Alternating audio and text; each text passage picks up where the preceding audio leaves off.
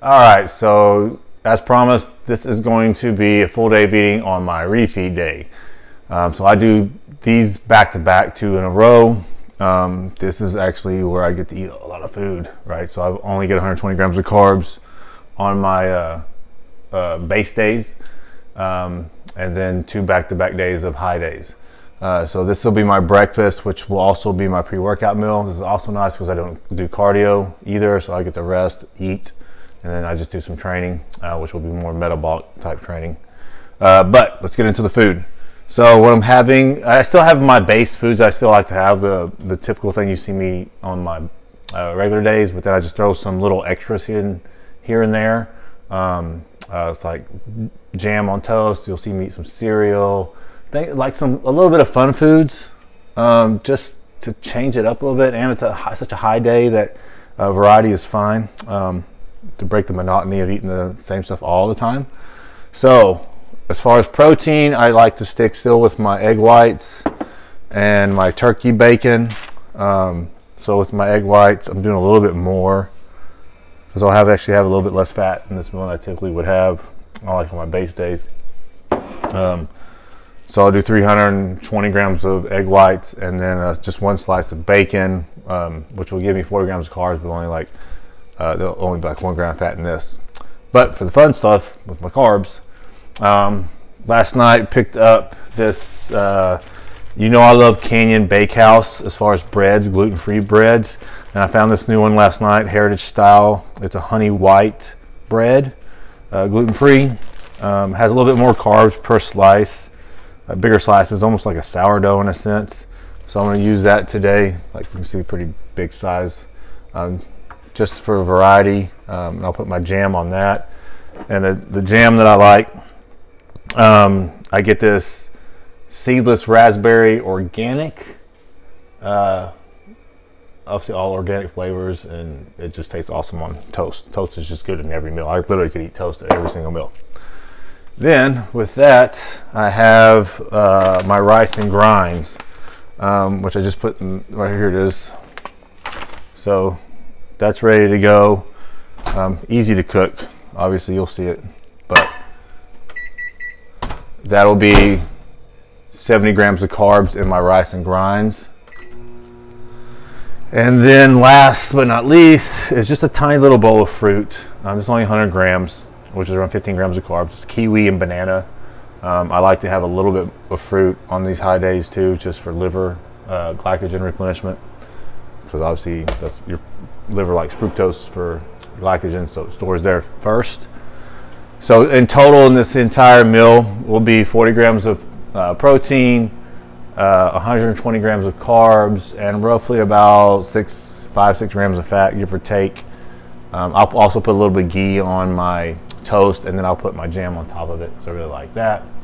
Um, and one thing, which I'll do on camera, so we can get it is I like to take my blood glucose on the beginning of these days um, just to see where it's at. And typically after like five low days, it actually goes up a little bit from my typical like usually 70 give or take.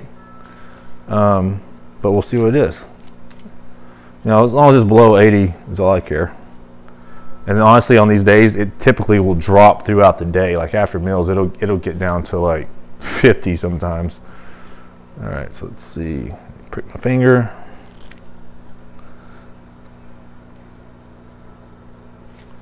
The blood on there. Let it read. Dun, dun, dun. And we're at 84. A little higher than I'd like, but still obviously easily in range. But it, you'll see I'll test it later in the day uh, when I start eating and stuff. Um, and that's just one of the reasons is understand like I'm dieting, dieting, and I'm really low all week so cortisol levels will tend to rise a little bit more, which will release more blood glucose into the bloodstream and it'll elevate some. Obviously, that's still fine and in range easily.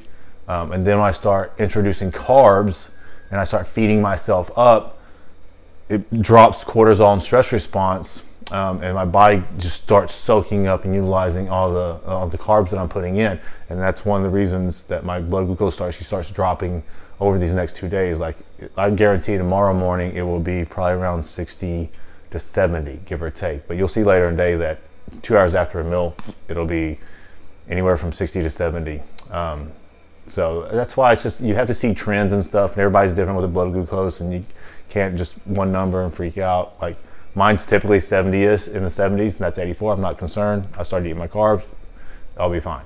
Um, yeah, so I think I did not put enough water in this, so you can see that's after a minute and a half. I just underdid the water, but it's still really hot. So what you can do to fix this easily you just add water to it because it's still so hot it will soak this water up really quick I just honestly keep adding more until I get to the consistency that I like it cooks really easy though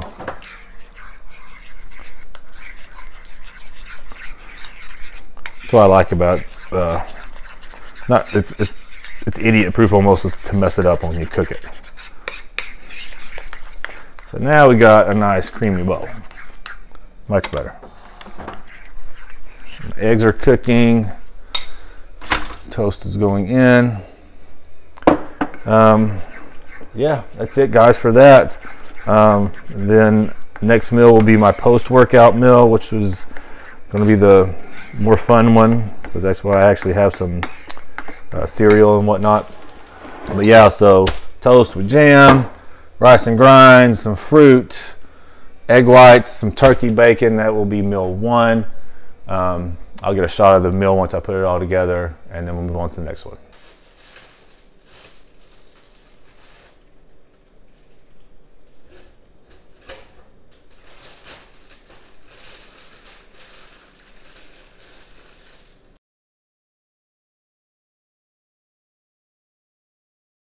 All right, so we are on meal two, and obviously, like I said in the last one, this is my post-workout meal. So I'll go through all my little goodies that I have stacked up here that I'm gonna have uh, for this meal. But to kind of keep you guys up on this, I'm gonna, I actually, I'll, I think I'll test my blood glucose every single meal. Because, um, you know, I like data and just doing stuff like this and poking myself 10 times a day. So let's see where it is. I had 40 grams of carbs intra. So prick. I'm bleeding like a pig. Let it come off. My towel. There we go. 69. Uh, for most people, that's pretty low. Um, and see, I mean, what I did with training too, I did pure metabolic stress based work because these next two days I am refeeding. So I want to do as much just primary nutrient partitioning work as I can, um, driving up those pathways to where my, my cells, my muscle cells are just like wanting to soak up as much freaking glucose as possible, especially the amount of carbs that I'm taking, which I'll take a little over 600 grams today. So to, that's the thing with matching training with nutrition. So I have kind of two different setups with training as I'm doing through the week on my base days because I couldn't do this type of training uh, due to not having any carbs. So it'd be very inflammatory because uh, I don't have the, the, the glucose in there to run the system because obviously metabolic stuff is pure, is just glycolytic in nature. Um, so you can see matching training nutrition is very important. All right, so we're at 69, so obviously my body's ready to soak all this shit up.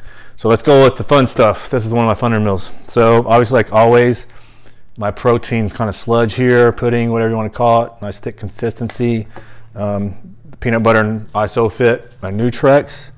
Now what I'm also doing here is I use Mike's Mix Tapioca Maltodextrin. Anybody has any type of digestive issues, this stuff is phenomenal to add carbs. Or if you just have a lot of food and it's hard to get all your carbs in, this doesn't add any volume. So I just mixed it in here with my pudding and you, you can't even tell, it didn't increase the volume at all. But um, there's 40 grams of carbs from this in there. Uh, because I don't want a ton of food volume, I want the calories, but again, I don't want to bog my gut down. So I put that in my protein and then the fun foods, because my cereal, because I, I mean, it's been a while since I've done cereal, and I just a lot of the times I like mixing stuff because I like flavors of different ones. So I'm mixing three different cereals here uh, that I got last night. So one of my favorites, uh, Leapin Lemurs, Lemurs, or however you pronounce that. Um, it's a peanut butter and chocolate blend flavor. That's cereal number one. Cereal number two, Rice Chex. my go-to. Um, and then my last one that I like is basically kind of like Cheerios, just obviously the organic kind of version, no other additives to it. Um, so just all three of these mixed in a bowl. Um, and this is 130 grams of carbs worth of cereal, 40 grams of carbs in the Mike's mix, so it gives me 170 grams of carbs. Um, protein, that's 40 grams of protein. And then obviously I'll use a little bit of almond milk um, to put in my cereal to get it down. Um, and then I've already done all my supplements and whatnot. Yeah, so that's meal two. This is post workout. Uh, and I got three more meals to go.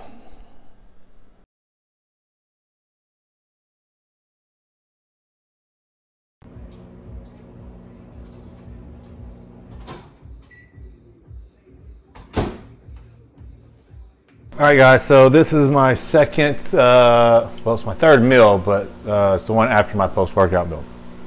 So, um, so obviously I had this protein powder and then my cereal, and now we're going to obviously back to some solid food. Um, with this meal, I'm, right now I'm sauteing, you know, I like sauteing mushrooms. These are shiitake mushrooms. They got really good flavor. Sauteing those in about a fourth a teaspoon of ghee. Um, and then this is my ground chicken. 98% lean. So there's like maybe like two grams of fat in this. Uh, so I'll use that for my protein. And then for my ri for my carbs, this is like my go-to rice. Um, this is organic jasmine rice. Uh, you can get it at uh, Whole Foods. Uh, it's very convenient. It's got a really good flavor. You literally, it's in the microwave right now. Uh, just put it in the microwave, uh, put a lid on it. Well, put it in the microwave, put a little bit of water in there Put a lid on it, three and a half minutes, and it's good, nice and moist. And then what I'll do is, honestly, I'll just mix all this in a bowl. So I'll dump my rice in the bowl, mushrooms in the bowl, put some sugar, or some sugar, put some ketchup and some Dijon mustard on it, and just mix it up and eat it. Um, and then I will have uh, around four rice cakes and uh, a tablespoon of jam on those. Again, since it's my refeed, so I want I just want some like snacks uh, with my meals. It's kind of like a dessert in a sense. Um, so I'll do four of those and this. So my total macros for this meal is going to be 40 grams of protein. Um, I'm doing 210 grams of rice, which is going to give me 70 grams of carbs. Four rice cakes, uh, which gives me 30 grams of carbs, and then a uh, total of two tablespoons of the jam. Um, that's another 20 grams, so it's a 20, 30, 50, so roughly around 120 uh, grams of carbs in this meal. Uh, so now I have two meals left. Um, honestly, not 100% sure what I'll have for those, um, but we'll see.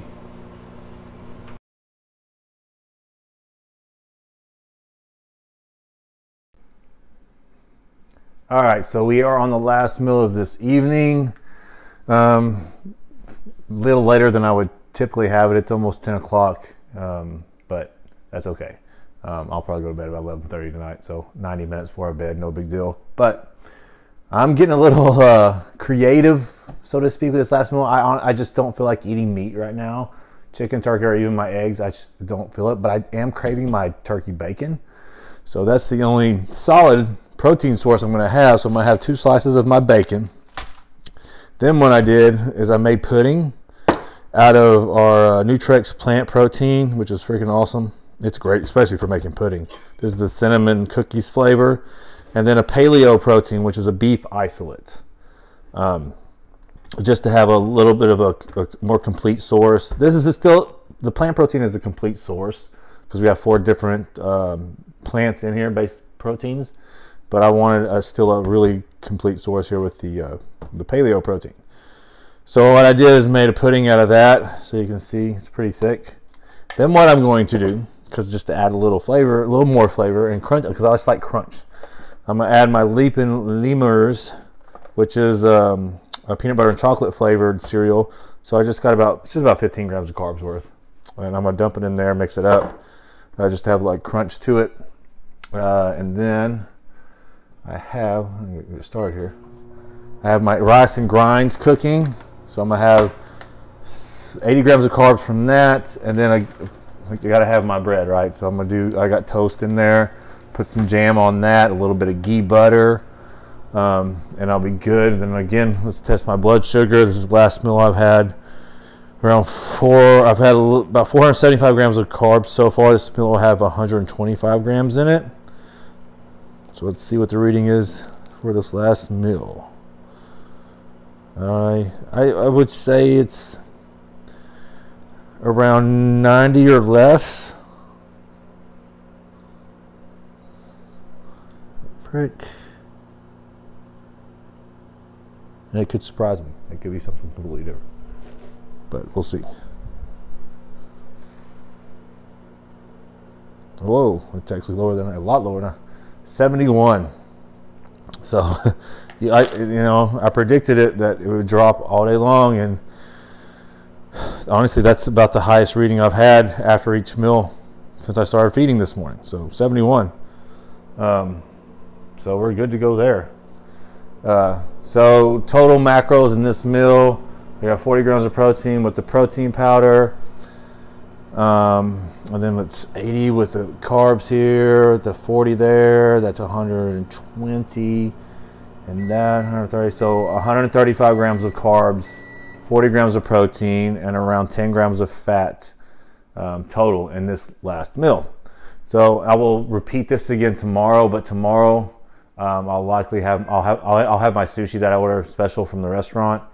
Um, I'll do like three or four rolls there. Um, other than that, the, the macronutrient intake is going to be the same. So my totals for the day are 200 grams of protein, uh, 600 grams of carbs, and 40 to 45 grams of fat. Uh, so yeah, we'll see how I look in the morning, and I should be a lot tighter and a little bit, just a tiny bit fuller. Usually after the first refeed day, it just kind of sucks things in, but I'm not full. Um, it just pulls the skin tight, and then the next day, usually on Monday, I look almost my best. I'm still not full, but you get the point. Um, so yeah, that was a full day of eating, lots of carbs. You see how the blood glucose track, just to give you guys a little more info. Um, thanks for following along. If you have any questions, just comment below. What do you think, Luca? I thought that'd be on camera.